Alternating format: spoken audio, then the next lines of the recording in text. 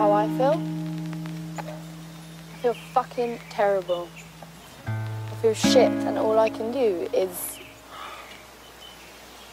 feel it.